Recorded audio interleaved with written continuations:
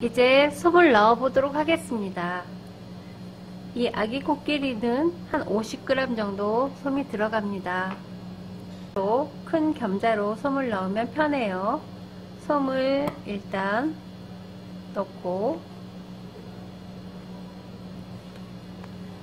코를 먼저 채웁니다. 코를 채운 다음에 그 다음에 얼굴을 채웁니다. 솜은 구름솜보다 방울솜이 훨씬 좋습니다. 방울솜은 퍼집성이 구름솜보다 좋거든요.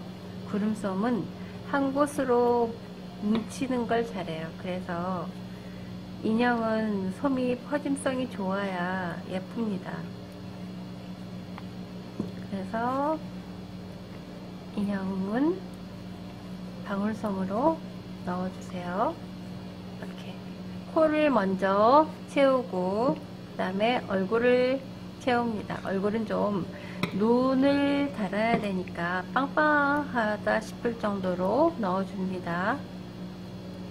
실밥들이 벌어지지 않을 정도로 빵빵하게 겸자로 이렇게 구석구석을 채워주세요. 동글동글해야 예쁩니다. 또 달마시안 아기 코끼리 같습니다. 점박이 다음에 어느 정도 얼굴이 좀 빵빵하게 채워졌다 싶으면 그다음에 이제 몸통에다가 솜을 넣습니다.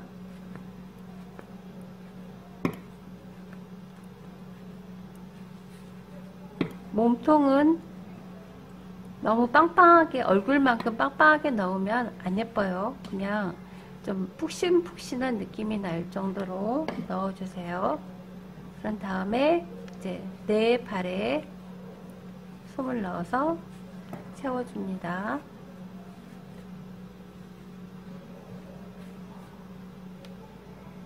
솜을 넣을 때 무게중심이 뒤쪽으로 가게 하셔야 합니다. 앞쪽으로만 너무 하면 이 아기 코끼리는 자꾸 세워 놓았을 때 앞으로 넘어져요. 그러니까 뒤쪽으로 솜을 좀 넣, 많이 넣습니다.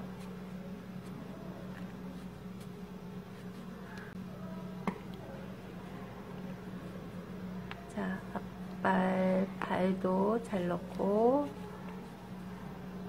뒷발도 균형 있게 골고루 솜이 들어가게 넣어줍니다.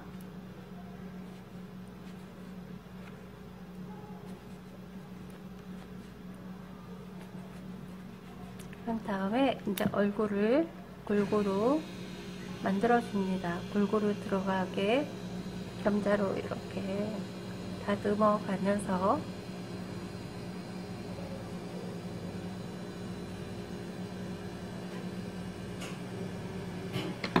균형이 잘 맞는지 그래야지 얼굴이 예쁩니다. 균형이 안 맞으면 얼굴이 안 예뻐요. 손으로 주물러서 약간 다듬어 줍니다.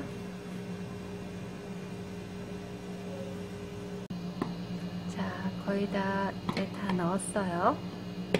이제 창구멍을 공구르기로 막아보도록 하겠습니다.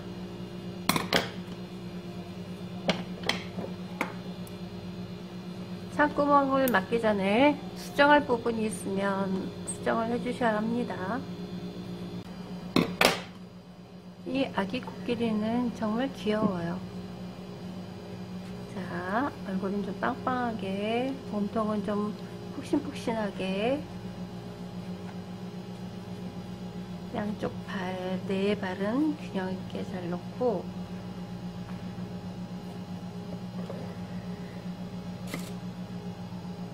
이제 다 넣었어요.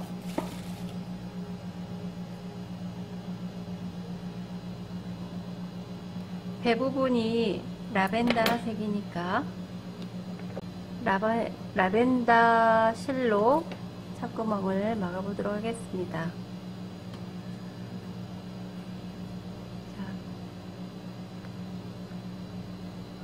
끝부분 바느질한 끝부분에다가 바늘을 넣는 게 아니고 이 끝부분보다 한 땀 앞서서 넣습니다. 넣고 네, 양쪽 접은 부분을 손으로 이렇게 모아줘서 눌러가면서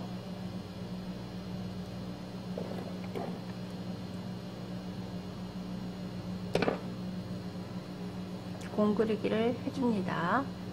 여기 한쪽 접은 부분에서 한 땀 뜨고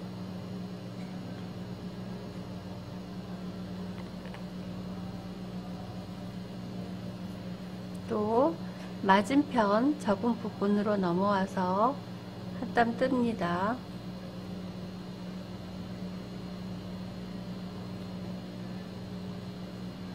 또 맞은편 접은 부분으로 넘어가서 한 땀 뜨고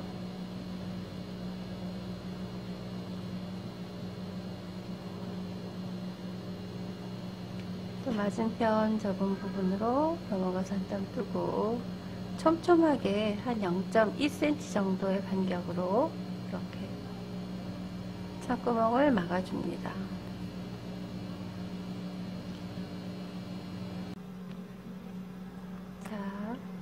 끝까지 다 왔어요. 부분 한 번 더 공구르기로 차구멍을 막아주고 싶은 분들은 여기에서 방향을 바꿔서 한 번 더 원점으로 돌아가서 해주시면 됩니다. 이렇게 방향을 바꿔서 똑같은 방법으로 해주시면 됩니다. 저는 여기서 마무리를 하겠습니다. 여기에서 매듭을 지을게요. 이렇게 한 땀 떠서 실을 동그랗게 만든 다음에 바늘을 그 안에 넣고 잡아당깁니다. 이런 작업을 두 번, 세 번 해줘요. 그런 다음에 바늘을 멀리서 빼줍니다. 실밥이 안 보이도록 매듭이 안 보이도록 자 여기에서 실을 끊어줍니다. 자 완성되었습니다. 아기 코끼리 예쁘죠? 자 이제 눈을 달아보겠습니다. 눈은 바늘이 비즈 바늘로 해야 돼요. 아주 가늘고 긴 바늘로 해야 이 비즈나 눈알들이 구멍들이 작아서 이런 바늘로 해야지 실수 없이 할 수 있답니다. 이런 귀 뒤로 잘 보이지 않는 귀 뒤로 들어갑니다. 여기 도안 그릴 때 눈 표시해 둔 부분 있죠? 이쪽으로 이렇게 해서 들어갑니다. 그리고 살짝 잡아당겨서 매듭을 속에 감춥니다. 그런 다음에 얘를 이렇게 한 땀 떠줘요. 매듭이 풀려 나오지 않게. 눈 달 때는 실을 두 겹으로 하는 게 좋습니다. 그 다음에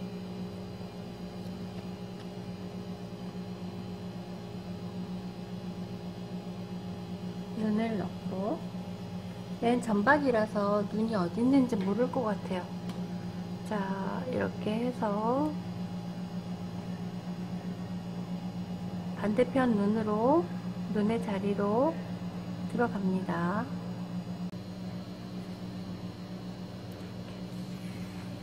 잡아당기고 눈을 실이 잘 보이지 않게 조절을 잘 해줍니다. 이렇게. 그런 다음에 좀 잡아당겨서 윤곽을 만들어요. 윤곽을 만든 다음에 여기에서 매듭을 한번 져줍니다. 한 땀 떠서 이렇게 실을 동그랗게 만든 다음에 그 안으로 바늘을 넣어서 잡아당겨요. 그런 다음에 다른 쪽 눈도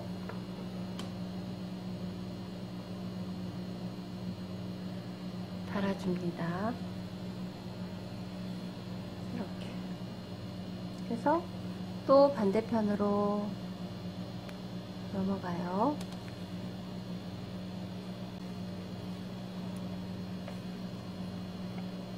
다음에 또 구멍에다가 바늘을 넣고 또 반대편으로 넘어옵니다.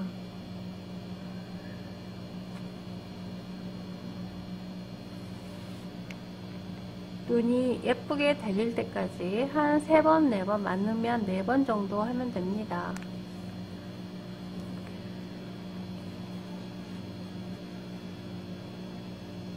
이렇게 손으로 눌러가면서 윤곽이 생기게끔 해줘야 돼요.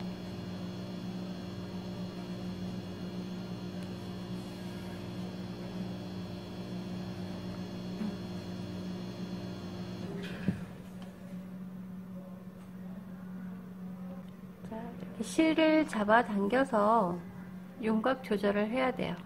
자, 다 됐습니다. 그러면 이 실을 어디로 빼냐면 이 목덜미 있죠? 나중에 여기에다가 리본을 달을 거니까 잘 안 보이 매듭을 지어도 잘 안 보이는 부분이 돼요. 그러니까 이 목덜미 부분으로 나옵니다.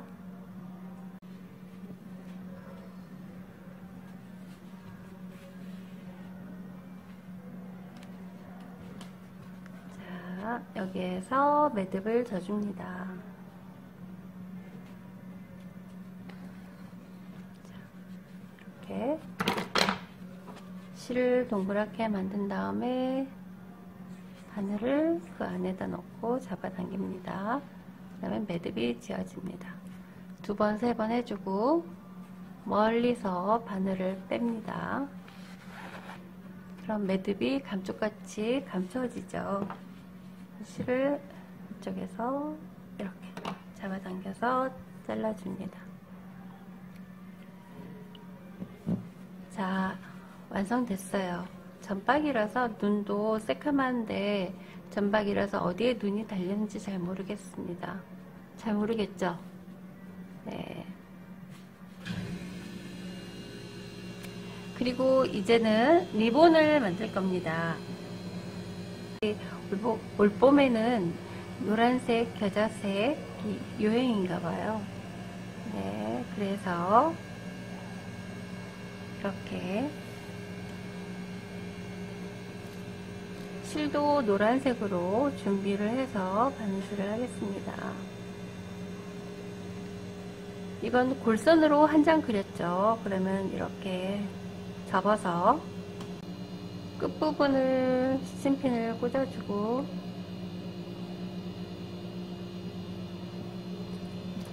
얘는 창구멍이 여기에요. 여기 그럼 창구멍만 남겨두고 다 반박음질로 해줍니다. 얘는 솜이 안, 안 들어가기 때문에 0.1cm 홈질을 하셔도 됩니다. 이렇게 이 부분을 반박음질로 해서 일단 매듭을 짓고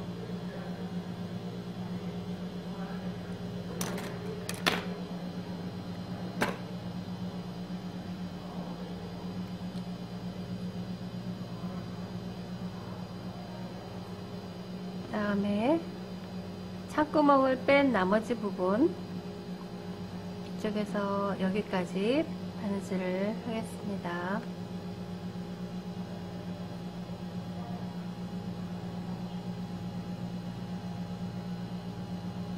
반박음질로 해줍니다.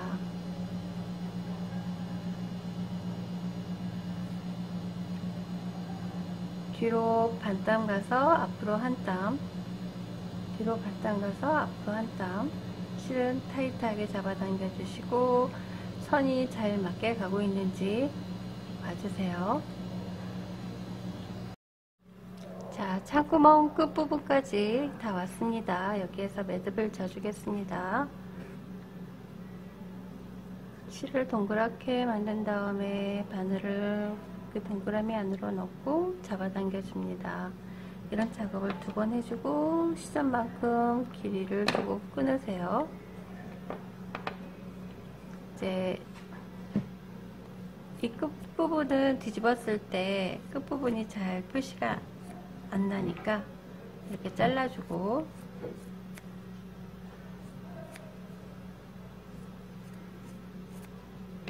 창구멍으로 겸자를 넣어서 뒤집어 보겠습니다. 염자를 넣어서 끝부분을 꼬집어서 잡아당겨요.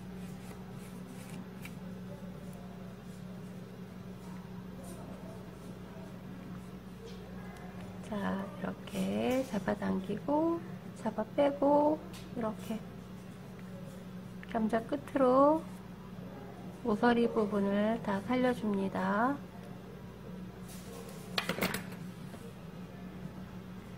그런 다음에 얘는 창구멍을 굳이 안 막아도 됩니다. 그리고 가운데 부분을 이렇게 해서 접어서 접은 다음에 창구멍으로 바늘을 넣어서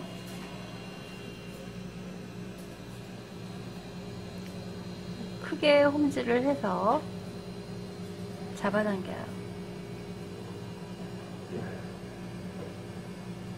잡아당기고 또 이렇게 한 번 더 고정을 시켜줍니다. 이렇게 예쁜 노란색 리본이 됐죠. 나비 넥타이, 보호타이가 됐습니다.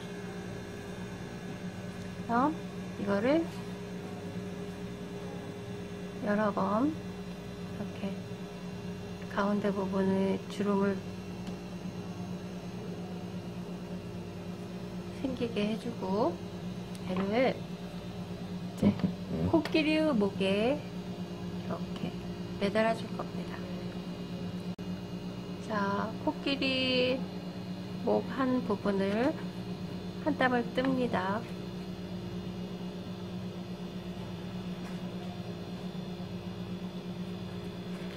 그런 다음에 이렇게 또 바늘이 잘 안 들어가니까 골무를 끼고 해야 안전하겠죠? 이렇게 해서 또 이렇게 해줍니다.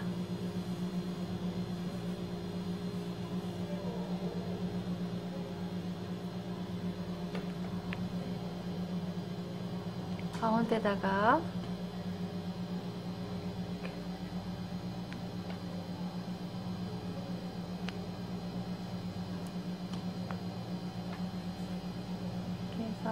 해서 매달고 이 뒤에서 매듭을 지을 겁니다. 노란색 실이니까 나비 넥타이 뒤에 안 보이는 쪽으로 바늘을 넣어서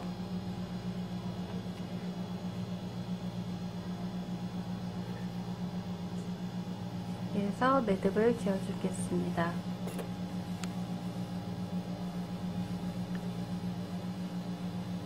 넥타이 나비 리본 넥타이 뒷부분에 보이지 않게 이렇게 매듭을 져줍니다. 자 이렇게 하고 여기에서 멀리서 빠져나옵니다.